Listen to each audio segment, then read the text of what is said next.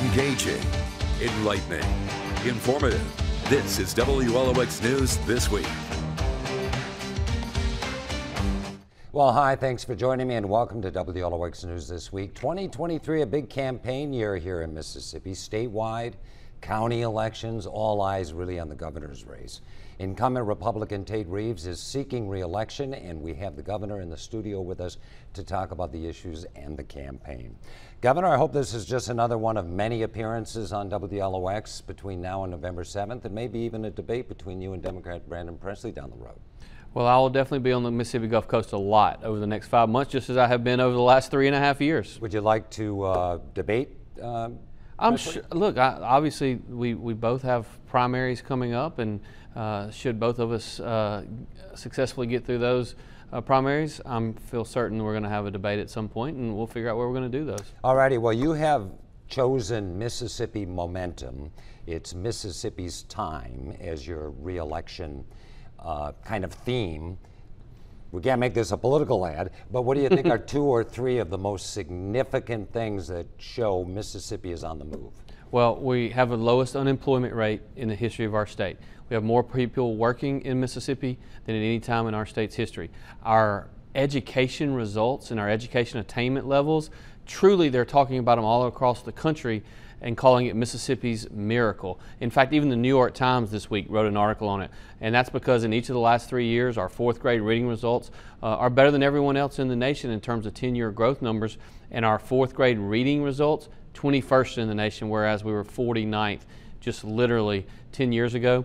And our fourth grade math, 23rd in the nation, whereas we were 50th just 10 years ago. Now, when we talk about Mississippi's economy, uh, the fact is we wouldn't be in this position without the $2 billion plus COVID relief federal money that's come into the state. I think you'd admit that. And for a fiscal conservative, and I think you consider yourself one, laments federal spending all the time, but it's put Mississippi in a pretty good position. Well, I would submit to you that um, that most everyone would look at me as a fiscal conservative because I've been fighting uh, higher taxes and been fighting uh, against government spending for many, many years. Uh, there's no doubt that, that some of the federal spending that comes into the state of Mississippi uh, is is advantageous to us when it comes to our overall economy. For instance, uh, you think about the military bases, for instance, that we have Keesler right here um, on the Gulf Coast critically important to our, our state's economy, and the defense and aerospace industries are incredibly important as well. Um, obviously, COVID brought uh, some extreme challenges and it also brought some extreme opportunities. But the thing that COVID did more than anything for Mississippi's economy is it allowed us to show that Mississippi is open for business because our people got up, they went to work, and they showed the world uh, that they that, that every job in Mississippi we view as essential uh, because it's helping someone put food on the table for themselves and their families. Let's talk about taxes. Uh, you have been a strong advocate for uh, eliminating the state income tax. Uh, lawmakers, particularly in the Senate, have been hesitant to pull the trigger on that. A, what do you think about that? And B, would you support something that is gaining a little bit of momentum right now, and that is reducing or eliminating the sales tax on groceries? Well, there are 50 states in the United States, and of the 41 that have an income tax, Mississippi now has the fifth lowest, and that's because we passed the largest tax cut in Mississippi history uh, in 2016, and then again passed an even larger tax cut last year. We've reduced uh, the marginal rate from 5% to 4% at the top bracket. So we've made progress. But I also know that we compete every day for economic development and for people with Texas and Florida and Tennessee, all three of which have a competitive advantage against us because they have no income tax. And so uh, I'm proud of the progress that we've made, but we have more work to do. Um, when it comes to the um, eliminating the sales tax on groceries, um, I've said uh, many times in the past, I don't know that I've ever seen a tax cut that I wouldn't support. Uh, I do think it makes more sense economically and will help us grow our economy to eliminate the income tax because I believe that if you want more of more of something, you should tax it less. And so we need more income. We need to drive per capita incomes up in Mississippi. We need better paying jobs in our state. And one way in which to do that is to eliminate the income tax. You would be open, however, to supporting uh, eliminating or reducing sales tax on groceries? I, I am open to cutting taxes of any sort. Alrighty, well, I've asked you about this already, and, and you know where I'm going with this. This story is not going away. It's the welfare TANF scandal, and everybody, your opponent is playing it up really big. Uh, the Jackson media is uh, playing it up uh, uh, really big, and a lot of people are talking about it, and they try to tie you into it. And I want to ask you about two things. Uh, the contract Paul Lacoste got for a million dollars through this kind of dark web of TANF uh, funding is he your personal trainer? Has, has, did he teach you how to do jumping jacks, as Brandon Presley likes to say? Well, look, when you said um, uh, my Democrat opponent and the Jackson media, in many instances they are one and the same because some of those individuals in the Jackson media really work for a Democrat super PAC that claims to be journalism. Um, that's unfortunate, but that's what we deal with. And look, Republicans across the country have to deal with that. The fact of the matter is, on the TANF scandal, we inherited that. You know, if you go back and look at the individuals that have already pled guilty in this case, uh, every single one of them pled guilty to things that occurred between 2015 and 2019. I was sworn in, Dave, as you well know, on January the 20th of 2020. There has been no one that has put forth any evidence whatsoever uh, that I had any knowledge of anything that was going on Paul during this. Uh, Paul Lacoste is someone that I've, I worked out with from approximately 2009. Uh, until 2018, 2019.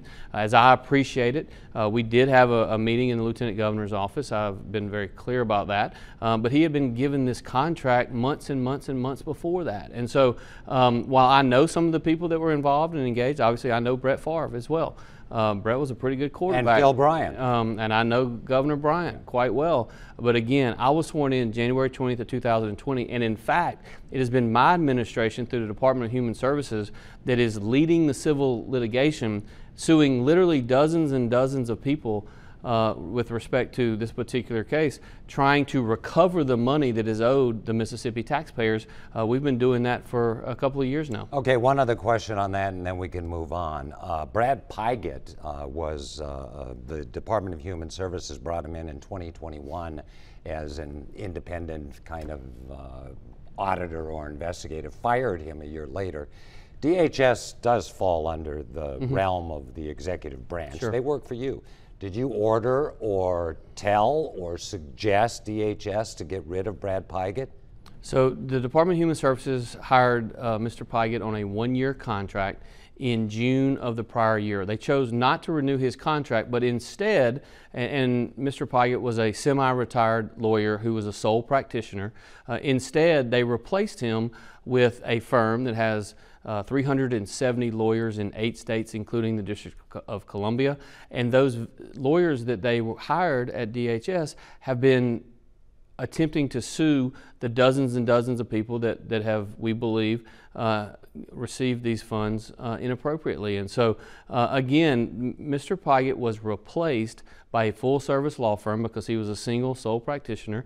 Um, and we needed, uh, quite frankly, to bring more resources uh, to it. And so, you know, the, the other side and the Democrats who lie about uh, this case in its entirety and particularly about my personal involvement in it completely ignore the fact that the individuals that they claim um, that uh, Mr. Pigott was looking for, whether it was the um, USM Foundation or, or, others, we're suing them. The Department of Human Services, it's, it's of record. We are suing them to recover these monies every single so one of them. So you feel you're clean. You feel like, I, I mean, even as Lieutenant Governor, you weren't aware that any of this was going on before being elected the, governor? The, the, lieutenant governor does not run executive branch agencies, and so um, uh, of course uh, I am clean, and of course the Democrats are going to lie, uh, and they're going to lie, and they're going to lie, and I think the people of Mississippi uh, can see the facts and know better. Medicaid expansion, you have not supported it. Uh, the legislature has not adopted it, but there's it's still a big story, and and it's trying to be tied to the health of rural hospitals and everything else. Could you ever see yourself accepting Medicaid expansion in the state of Mississippi? I do not believe that expanding Medicaid under Obamacare is the right approach for the state of Mississippi because I believe that we currently have approximately 800,000 people on welfare in the state of Mississippi, and this Obamacare expansion would add an additional 300,000 Mississippians to welfare. Of those 300,000, I believe approximately a third of them, as you and I have talked about before, are currently on private insurance. And if those individuals move from private insurance to government run insurance, the reimbursement rates for the providers even would be lower than they currently are for those 100,000. So um, not only is it bad for those individuals, I think it's ultimately going to be would ultimately be bad for the entire state. I'm wondering where you are on this. The legislature continues to fail to restore the initiative uh, process, giving citizens the right to petition government and get issues on the ballot to vote on. Are you disappointed in the legislature for, for having not delivered on that? Well, I think the people deserve access to the ballot. Um, when they cannot get their elected representatives to uh, listen to an issue uh, that is important to the people, then I think the people ought to have access to the ballot. Um, I will tell you, I don't think it should be easy. Uh, I think it should be a very high threshold. I don't think we should have a scenario in which one individual can, can come into the state and write a million dollar check or a two million dollar check, get something on the ballot, uh, and then be the only side telling the story because oftentimes, when, particularly when Democrats do that, they don't tell the truth. And so I do think it should be hard to get something on the ballot, but there should be access to the ballot. And I think the legislature should pass that. And one last question, because time has just flown right by, and it's a coast uh, question for you. You know, because you are intimately involved in BP money projects down here, GOMESA oil lease money, even Tideland lease money, working with DMR and our local legislators. But you also know there are lawmakers in Jackson and upstate who would love to get a hold of that money what can you tell our viewers in South Mississippi and the voters down here about making sure that money stays right here? Well, for years and years and years, I have been the guy in Jackson that said every penny that belongs to the coast is going to be spent on the Mississippi Gulf Coast. I have delivered on that promise.